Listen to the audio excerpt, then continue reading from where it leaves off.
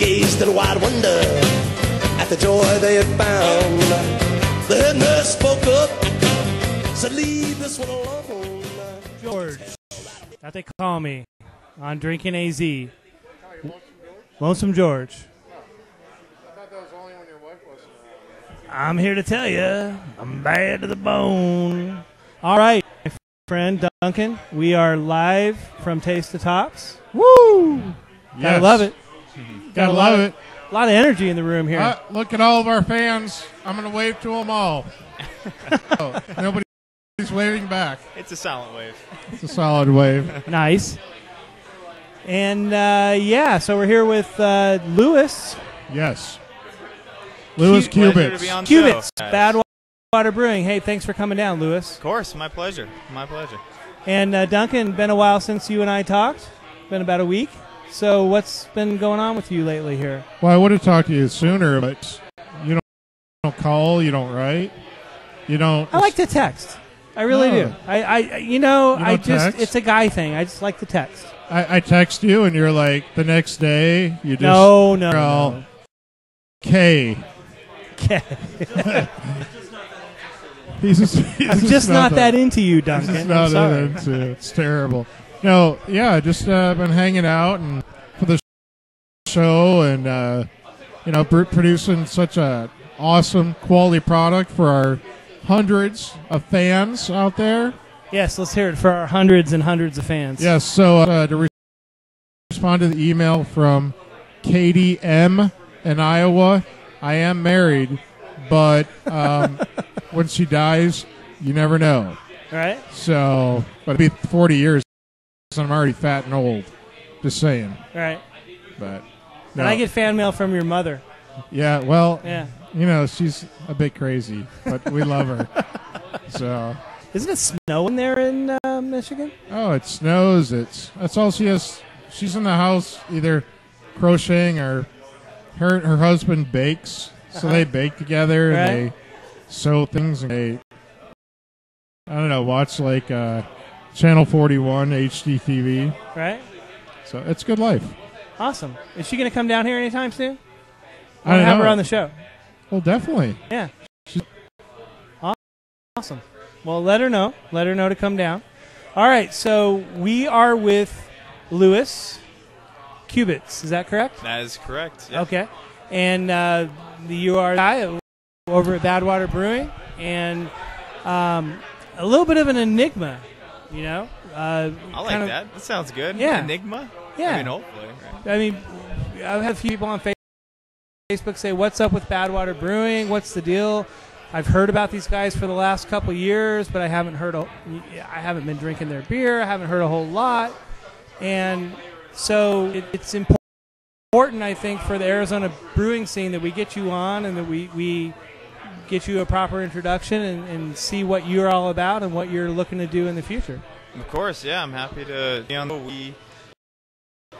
uh, you know, as a company, uh, have been around a couple years. You're right Okay. about that, and I wouldn't be surprised if you hadn't heard of us. You know, we we came out with a product, uh, kind of shoulder style, right out of the gates, and it was our only product. Okay, So was that the saison? that was the saison. Okay. Yeah, and it was not as popular as it is now, um, Uh-huh. even though the style in general still today. You know, uh, but saison really was uh, a move we wanted to make.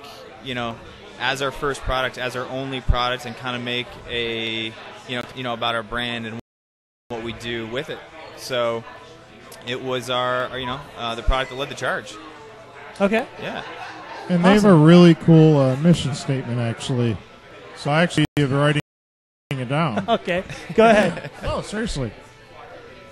Badwater Brewing. To build a distinct beverage brand for influential individuals whose wines, quality, commitment, originality, and taste. Badwater Brewing.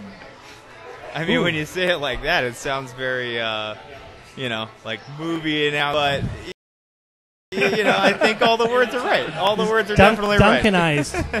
Badwater Brewing, the one, the only. So how did you get sta- you next Friday. how did you get started in, in tell me about beer everybody has like something that connects them buoys them down to beer and their passion for beer so what is it about for you that that Yeah. makes beer special for you Well, other than a passion, uh, you know, for for writing, you know, and I, I love coming up with all of our um, materials and finding our mission statement that you know speaks to me, and if it speaks to other people, you know, I think we've done the right job. Uh, as far as beer goes, it's uh, it's an interesting story. I, I didn't come from food and beverage. Uh, I didn't come from uh, you know beer uh, on any side of the equation. No wholesale, no uh, supply, not even retail.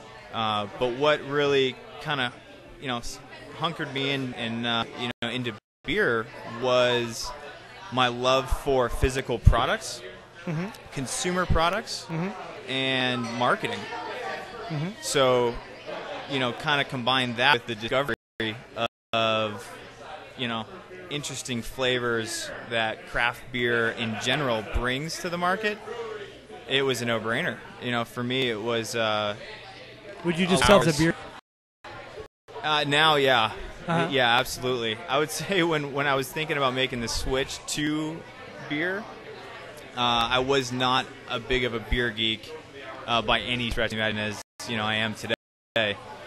Um, you know, I used to sit behind a desk, look at numbers all day on a computer screen, and it just it's something that I couldn't touch. It wasn't tangible enough for me. okay what was it that got you into what what made you decide okay i want to get into beer as a, as a profession Uh, well, I, I guess I would say kind of like a you know be a bit of a kind of answers uh-huh. before, but um, you know maybe what the plunge was is timing, like anything else in life. You know, it was really kind of the right perfect storm for me, and you know it was I kind of like joke about it, and I say it was a little bit of uh, you know a little bit of kind of fearlessness, a little bit of you know finding my passion for consumer goods, just the right amount of freedom. You know, now are you you're are where are you from originally here, Scottsdale, Arizona. You're, you're a native. Okay. Yeah. Awesome. And so am I. Duncan's from Michigan. Born and bred Canada. Go Maple Leafs. No. I'm a Canuck by, you know, by birth. You're a freaking mit- you're a mitten guy. You're like what oh I'm from Uh, that's what anybody in Michigan, they say, where you from? I'm right here. That's where I'm from. Throw up the hand. Yeah. Geography. bitch. So uh,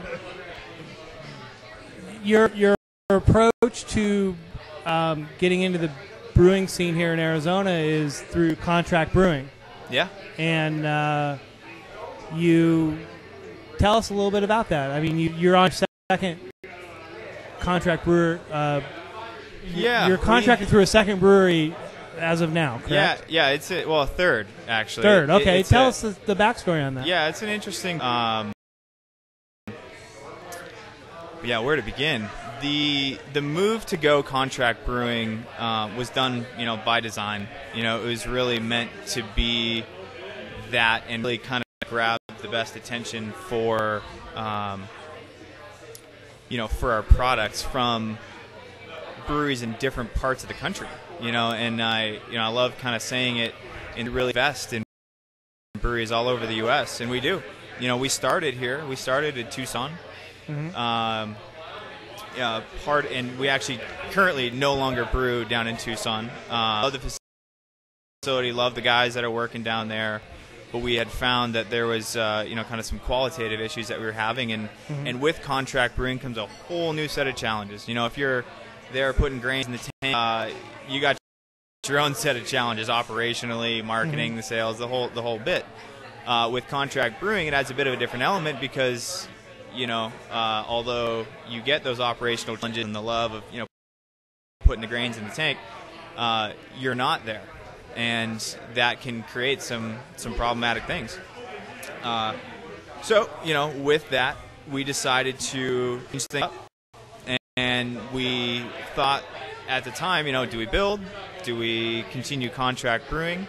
But the kind of the mantra of the company and what we stand for and everything was head and invest in a couple different breweries, uh, one in Colorado and one in Wisconsin that we currently uh, produce at, which is you know great for us. And, and what's the name of the brewery you work with in Wisconsin right now? The, the brewery is Minhas Okay. Brewery, uh, second oldest in the U.S. since 1845. Mhm. Uh, we do 250 barrel batches. So planning on that scale is, uh, you know, it's uh, it's a distribution plan, and, and it's a it's a marketing attack, and it's all those things that kind of come in with, Mhm. you know, brewing that much product, which is you know by the truck Uh, beer. 250 uh, 250 barrels. barrels. Yeah. So then you, as the owner, you got to get that made. They're holding those 250 bits, right? And then you have to get them shipped to like you got to get them sold all over the place, or what's that look like? Well, right, yeah. I mean, you know, inevitably the, the goal is to you know get it in the consumer's hand and you know an experience about our product and our brand.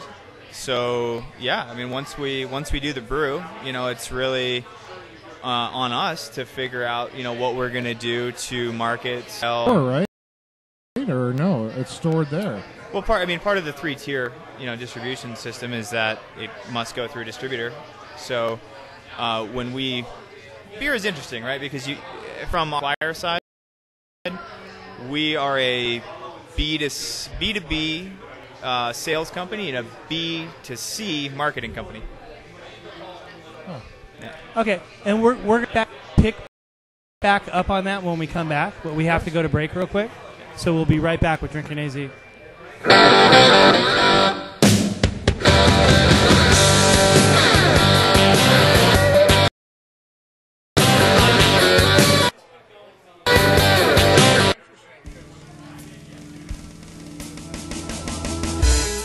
This is Adam with Drinking AZ. I want to tell you guys about Sun Devil Liquors. This is a massive store that can serve all your beverage needs. They feature wine tasting every Thursday from their swanky cellar, beer tastings on Friday nights featuring eight different beers on tap and a specialty on cask. You can pick out any bottle, choose from over 350 kegs, 1,000 specialty beers, and over 1,500 imported or domestic wines. Check them out at 235 North Country Club Drive, Mesa, Arizona.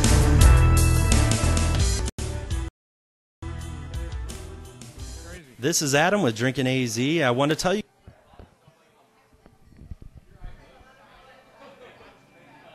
And we're live at Taste the Tops with Drinking AZ. And we were talking about the distribution system and contract brewing. Yeah, it's amazing. Some pretty serious shit, huh, Duncan?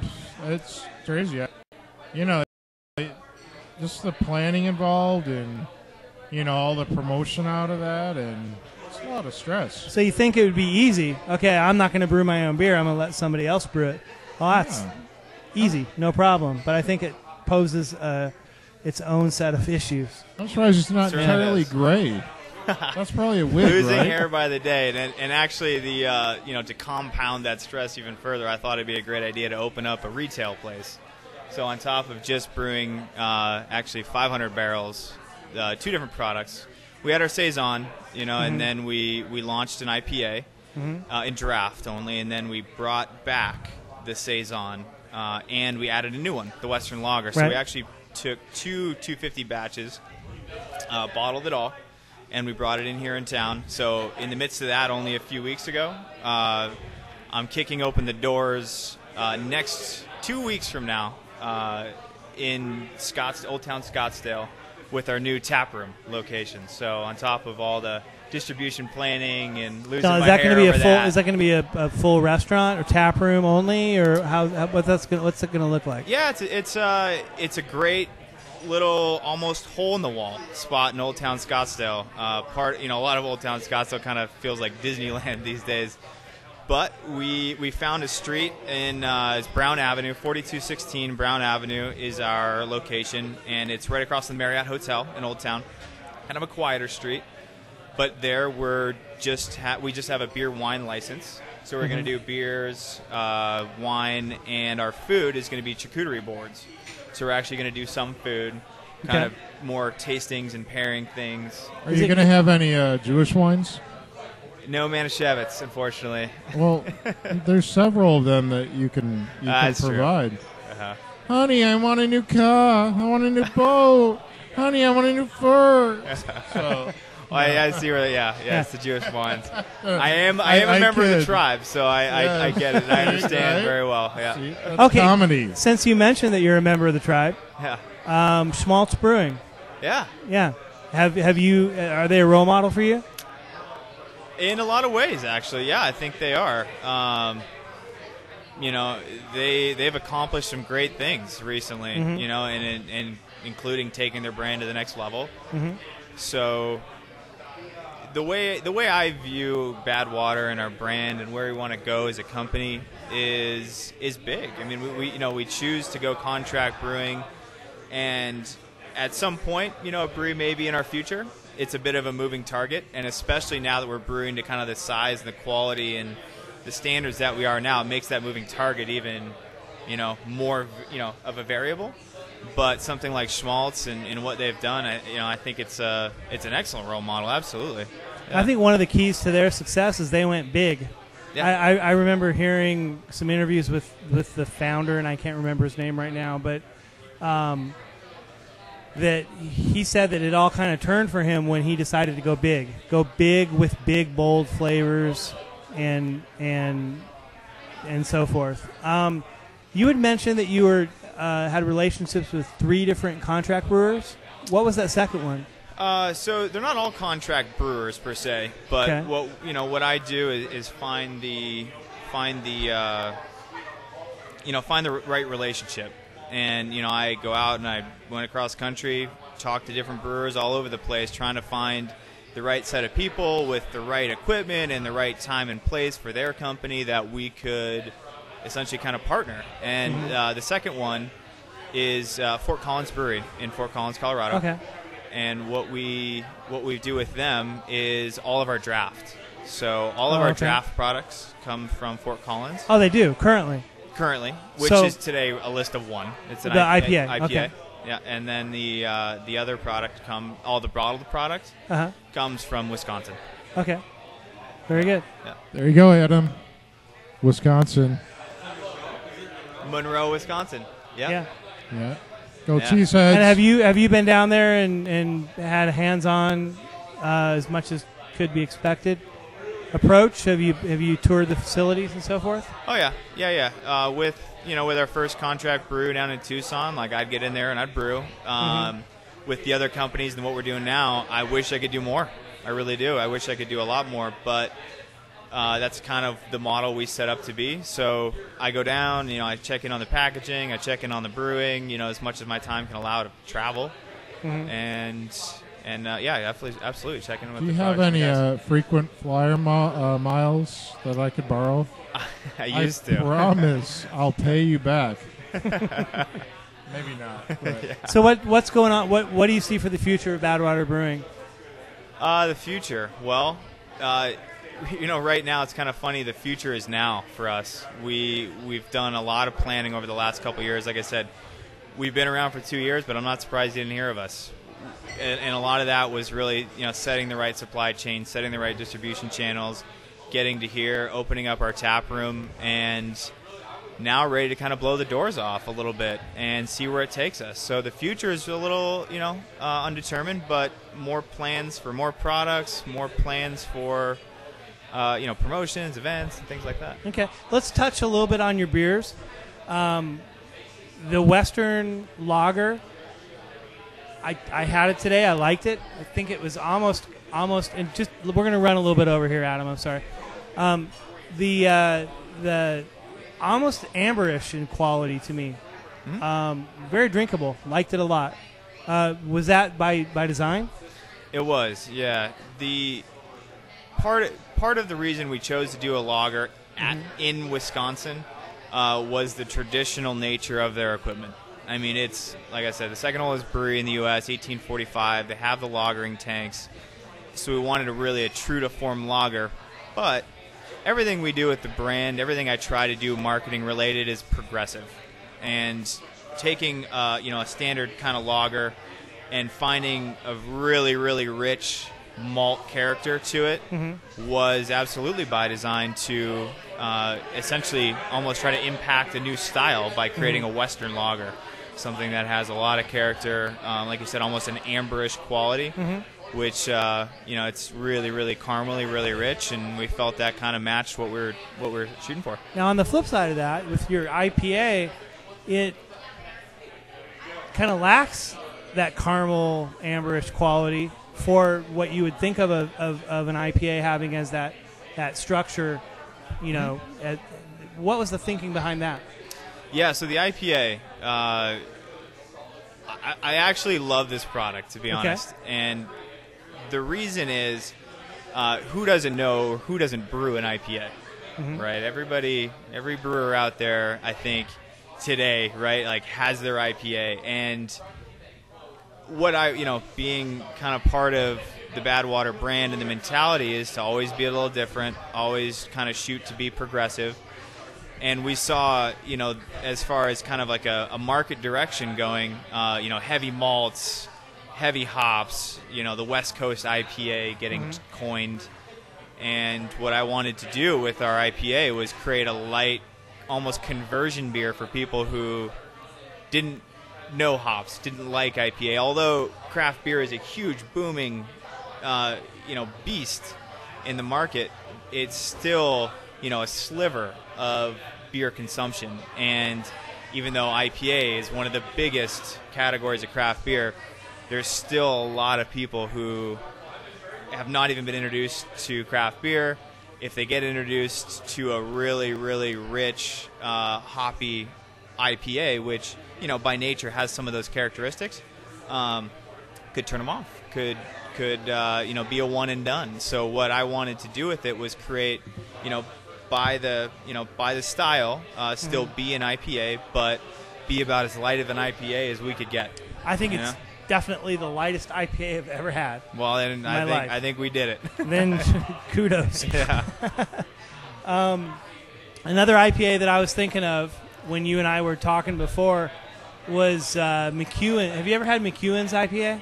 I have not. Actually. Check that out. No. It's it's a it's an IPA, but but it really it's the very if if I don't know if 60 IBUs is the the bottom threshold for for bitterness, it's 61 or whatever that threshold is. I can't remember it right off the top I think of my it's head. 40 to 70. Okay, so yeah, yeah. it's 41. Yeah. So, um, you know, I, I think that in a sense, your beer there is kind of like, in the body sense of the word, the McEwen's of, of IPAs. Like I said, I You haven't have to tried check it. that out and, and Yeah. see if that logic holds true. Yes, wow, Duncan? you sounded really smart there. Oh, thanks. Just for about a, m- uh, being about a minute for a beer novice. I was just staring out there going, wow, what a pretty show. Yeah, this, you, you know, And then and then you have your saison, Yeah. which is peppery and really clean. Yeah. What what do you have to say about that? Uh, I mean, that's a product I fell in love with from the get go. It's, and you know, and like I was mentioning too, with our kind of operational challenges, you know, we were kind of losing what our what our saison uh, was always meant to be, and I I personally love it. I mean, it's it's jam packed, you know, and some people say, and a lot of chefs will say, don't you know, don't just throw a bunch of stuff against the wall. Don't you know, try to pack it too full. But I disagree. You know, that's my opinion. And and what we tried to do was give like a full full malt.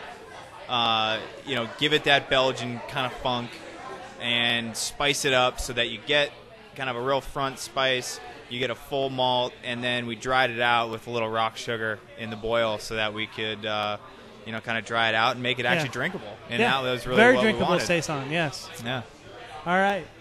Well, we're over time right now, so uh, but I really want to thank you for coming in. No, thank you Yeah. guys. I appreciate it. It's Yeah. an awesome show. Yeah, and thanks for for being having And, of and the if show. anybody wants to learn more about Badwater Brewing and how to how to get your beer and how to get connected with your company, what would they do? Come to the tap room. yeah, come to the tap room. We're going to be open up, like I said, in a couple weeks. But uh, always, you know, badwaterbrewing.com, Facebook, Badwater Brewing. So that's always great ways to connect too. Okay. All right, Lewis. Yeah, pleasure. Thank you. Thanks, guys. Yeah. Thank you very much. Cheers. All right. So for uh, for Lewis and Adam and Duncan and myself, George, this is George with Drinking AZ. We'll see you guys next week. Take care. Ho. Oh.